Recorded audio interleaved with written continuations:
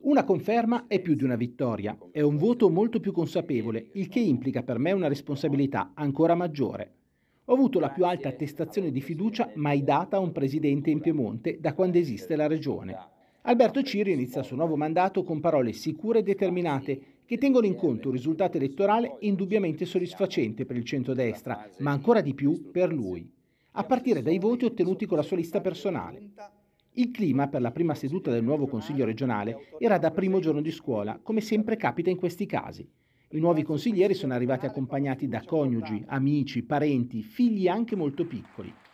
Palazzo Lascaris, l'elegante sede istituzionale nel centro cittadino, è ristrutturazione e forse l'ambientazione suggestiva e post-industriale dell'ex officina Grandi Riparazioni hanno influenzato gli umori dei partecipanti, entusiasmati sin dall'inizio dalla melodia dell'inno di Mameli.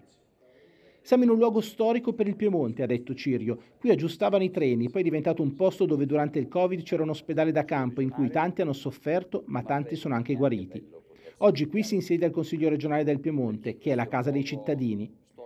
E poi, riferendosi ai fatti di cronaca recenti, ha aggiunto Esprimo tutta la mia solidarietà a un giornalista di valore che è stato aggredito a Torino mentre stava facendo il suo lavoro, Andrea Giolì della stampa, e una condanna dura e netta per qualsiasi forma di violenza che possa pensare di intimidire la libertà di informare. Il discorso poi è passato alle linee programmatiche. Non mi piacciono i compromessi, ha ribadito Cirio, mi piacciono invece l'equilibrio e la condivisione, e a questo punterò. La regione negli anni si dice sia diventata più un ente di gestione che uno di programmazione. È accaduto perché ha dovuto sostituirsi a chi non gestiva, ma noi dovremmo essere un ente di programmazione. Augurandoci che le contingenze del passato non ci siano più, cercheremo di programmare con lungimiranza, collaborando con tutti. Il Presidente poi è passato a toccare i principali temi del programma, con il quale ha vinto le elezioni, partendo dalla sanità.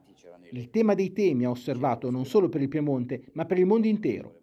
Noi crediamo nella sanità pubblica e vogliamo guardare a quella privata, assicurato, in un'ottica complementare, mai sostitutiva. Ma i temi sono moltissimi. Condivisione. Equilibrio e condivisione non sono un compromesso. La parola compromesso è una parola che non piace, ma non piace neanche a me. La condivisione mi piace, l'equilibrio mi piace.